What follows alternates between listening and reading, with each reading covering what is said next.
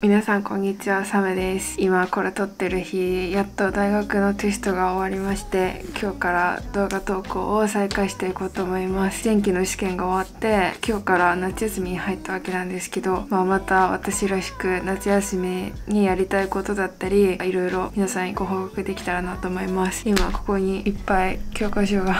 見えてるかなと思うんですけど全部今から紹介していきます。で私は今薬学部の6年生の薬学部の4年生で前期が終わったっていう感じです。同じ学部の人は分かると思うんですけど薬学部の4年生っていうのは年末の方にまあ事実上の進級試験というものがありましてま CBT って言われるまあこれは医学部の人とかも受けるようなやつなんですけどあとオスキーっていう実技の試験とあとこれはまあ私の大学でやってるやつなんですですけどまあ今までの3年半分のまとめテストみたいなものもありましてそう締めくくりに近づいてきてるわけなんですけど、まあ、今まで私はテスト期間の様子だったり、まあ、勉強の様子をこうやって動画でお届けしてきてはいたんですけど、まあ、正直その場限りの努力しかしてなくて、まあ、これから総まとめをするって言ってても果たして 自分の頭にどれぐらい残ってるかっていうのがわからないのが正直怖いなっていうのが本音です。なのでまあこれはもう学校から自分たちでさっさと勉強しなさいって言われてるんですけどまあそれに必要なものをまず買いました。それの新しく買ったやつなんですけど重いこの5冊を買いまして1万5000円オーバーです。パソコンでやる学力式みたいのがあるんですけどそれ用の対策問題集です。これを私は前から持っててもう付箋とかいっぱいついてるんですけど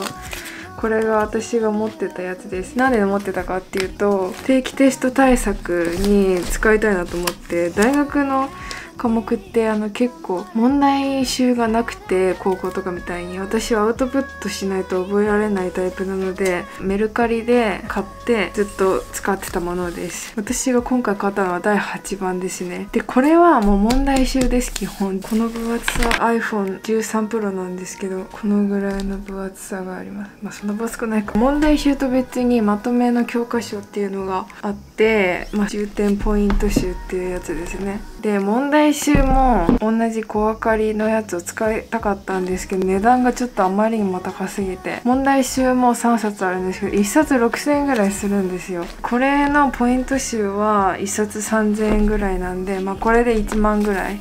なんですけど問題集回したら2万。普通に超えるのがうわーと思って。で私はもう古いやつですけど、まあ、例えば法律とかは毎年改定されてしまったりするのでそういうとこは使えないんですけど、まあ、基本的な物理生物科学とかそういうベースのところはこの古いやつで事足りるなっていうのでこの薬剤師国家試験の必須問題集というものを買いました。これは1冊2500円ですね。中身を見てみたら本当に色がなくて素朴で東進の一問一答を思い出させるような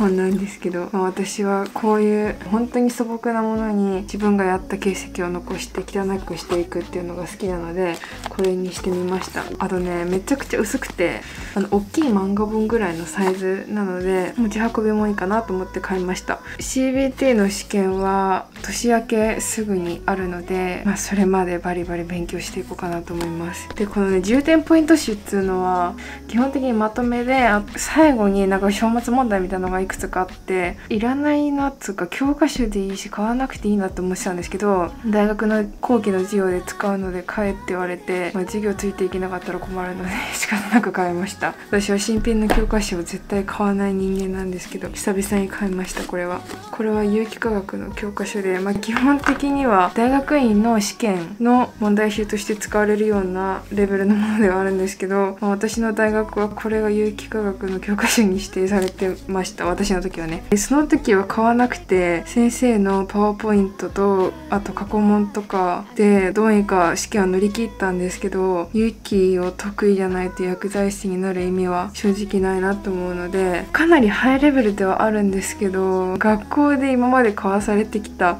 教科書よりは全然わかりやすくて読み物感覚として読めるなって思ったのでこれはメルカリで買いました。まあ合わせて1万円ぐらいで譲ってもらいましてこれは結構前から家にあります。4月ぐらいから始める予定でいたんですけど全然手をつけられなかったので、まあ、実質1からのスタートという風になりますが頑張っていこうと思います。学校の勉強はまあこんな感じですね。他にももちろんやりたいことがいっぱいありまして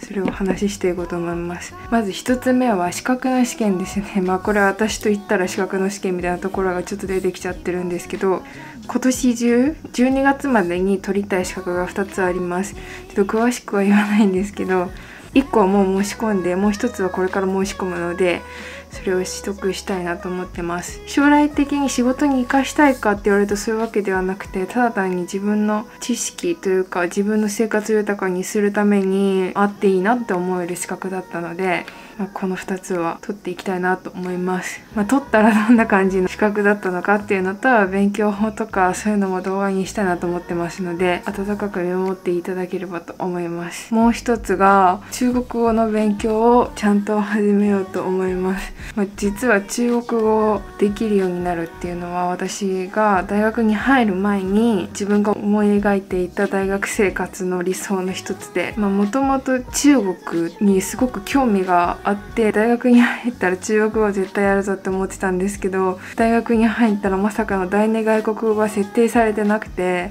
英語しか基本的にできなかったんですね。でまあちょいちょいなんか語学の授業を選べたりしたので、まあ、そういうのでは選んできたんですけど本当にそれだけで基本ずっと英語しか日本語以外の授業はできなくてまあ、結構びっくりしちゃったんですけど、まあ、語学クっていうのはまあ授業がなくても自分で勉強できる学問ではあるのでまあそういうのを言い訳にせずに自分でマスターしていきたいなと思って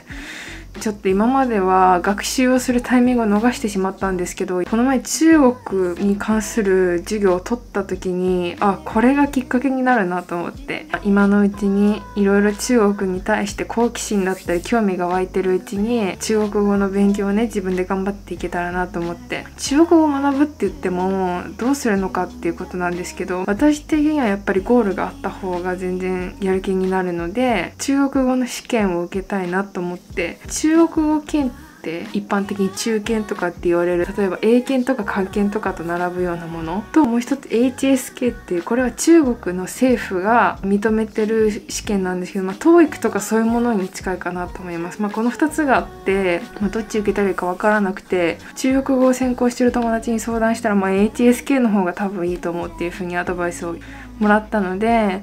まあ、HSK を受けるっていうのを目標に中国語の勉強を進めていきたいと思ってます。中国の授業をしてくださった先生に学習のやり方について相談のメールを送ったらすごい親切に答えていただけてあの学習法をいろいろ教えていただいたのとこういうサイトあるよとかねそういうのも教えてもらったので、まあ、そういうのも活用しながら、まあ、今のところ考えてるのは、えっと、学校の試験が年明けに終わるので、まあ、それが終わ終わったらすぐ HSK を受けに行けたらいいなと思ってます。なのでまあ1月末か2月まあ大体月に1回ぐらいやってるので1月か2月に HSK の4級を受けたいなと思ってます。まあ HSK4 級っていうのはちょっと初学者にしてはかなりハイレベルな設定かもしれないんですけどそれをゴールに中国語学習のモチベーションにしていてしていけたらなと思ってます。中国人の友達が 実は結構いてなんでかって私1年生の時にバイトしたところが従業員がほとんど中国人であの社員さんとかも日本人なんですけ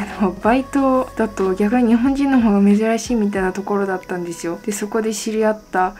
子たちとかと結構仲良くて中国語を教えてもらえないかなと思って LINE してみたら日本語の勉強になるからいいよっていう風に言ってもらったのでまあわからないことがあったら中国人の友達に教えてもらいながらすごい恵まれた環境なんですけどそういう風にして学習を進めていきたいなと思ってます。はい。でまあ語学に関連してなんですけど英語の勉強もちょっとめちゃくちゃサボってて実は。実はっていうか実はって言えないくらいほんとサボっちゃってるんですけどマジで海外に行きたくて、まあ、海外に結構もう行けるような状況にはなってきてるかなと思うんですけど私はやっぱりこう医療系の学生っていうこともあってモラルって言ったらあれなんですけどちょっとまだ行きづらいっていうところもあるし大学からも行かないのが原則だみたいな感じで言われちゃってるのでまあ海外行きたい気持ちは山々なんですけどちょっと今は自分で我慢しなきゃいけないなと思ってるんですがまあその分いつかこう自由にね海外行けるようになった時にやっぱり英語でコミュニケーション取取れるっていうのはすごく楽しいことで素敵なことだなって私は思ってるので、まあ、怠けないように。英語は好きでもあるし息抜きにもなると思うしこれから就活するにあたって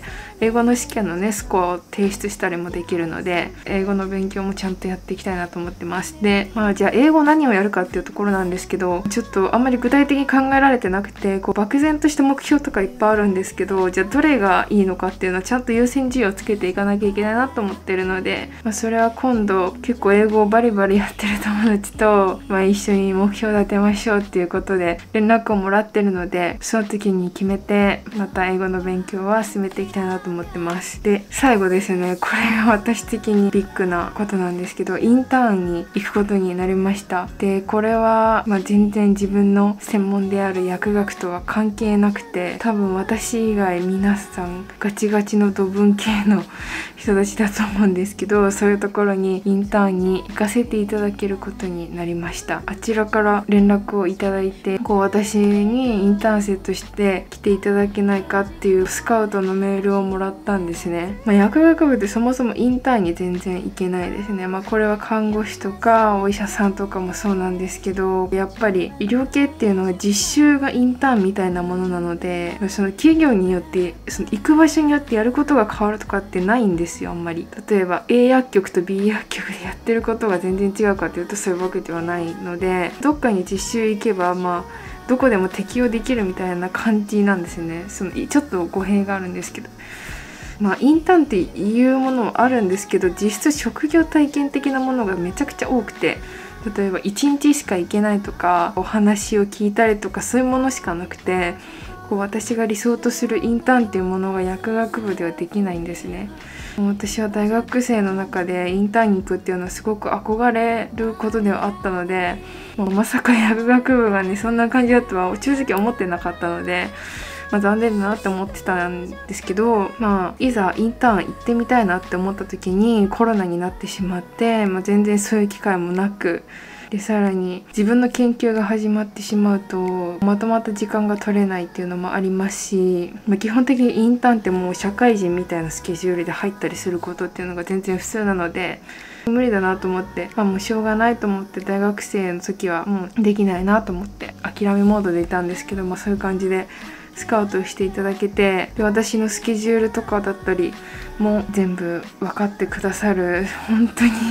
いい人たちばっかりで。なんでこうまあ研究とかでねコアタイムとか縛られてしまったりするのでそういう融通は聞けないんですけどただ時間を取れるのでその空いた時間でできることっていうのでお仕事をいただけるようになったので、まあ、インターンをこれから頑張っていくことになります。メールをもらってすぐにもう本当に話聞きたいと思って最初話聞きたいのでっていうのでメール返信したんですけどもう全然インターンやる気満々でいてオンラインでアポを取って Zoomしたらやっぱり案の定いい人たちであしかも自分がやりたいなと思う仕事だったんですね内容が。全ての大学生にできるかっていうとできないものでまあそのスキルがないとできないお仕事ではあったのでまあそういう自分のその大学で専攻していることとはまた別の自分の時を生かすことができるっていうのが本当に貴重な機会だなと思ってまあその分本当に大変かなとは思うんですけど誇りに思ってインターンも頑張っていこうかなと思います、まあ、多分ね薬学部とか、まあ、看護医師とかもあれ全部ひっくるめて医療系とかで全然違うインターンに行くっていうのは本当にできないことであんまり聞いたことがないので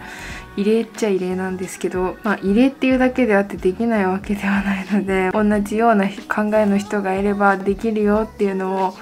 勇気づけられたらなと思うのでそういうのもお届けできるようにちゃんと頑張っていきます。ということで長くなってしまったんですけど夏休みはそんな感じでいろいろ頑張っていこうと思います、まあ、夏休みって言っても1ヶ月ぐらいしかなくて結構短いんですけどもう夏休みが終わったら本当に受験生みたいな感じにはなるかなと思うのでそのスタートダッシュとしていいように自分を変えていけたらなと思います。ということでここまでご視聴してくださいありがとうございました。また次の動画でお会いしましょう。バイバイ。